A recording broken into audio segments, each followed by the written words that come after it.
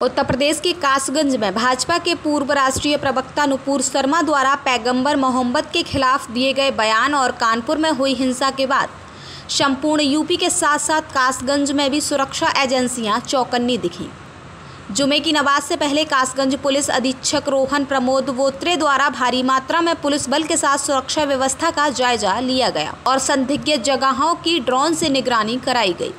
बता दें कि पैगंबर मोहम्मद के बारे में भाजपा की पूर्व राष्ट्रीय प्रवक्ता द्वारा दिए गए बयान से मुस्लिम समुदाय में खासा आक्रोश है। इसी बीच जुमे की नमाज़ के दिन भारत बंद की सुगबुगाहट से ही पुलिस के कान खड़े हो गए। एसपी कासगंज ने बताया कि जनपद में अभी तक पूर्ण शांति है। पूरे जनपद को सत्रह जोन में बांटा गया है।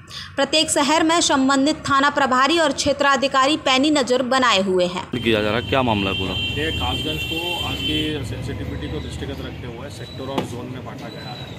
लगातार पुलिस भ्रमणशील है। अब मॉर्निंग में पोस्टर पार्टीज़ भी निकाली गई थी अर्ली मॉर्निंग में।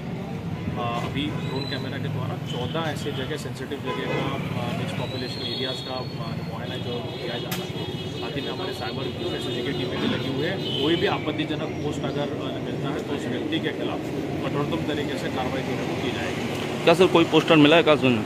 अभी तक तो कोई नहीं।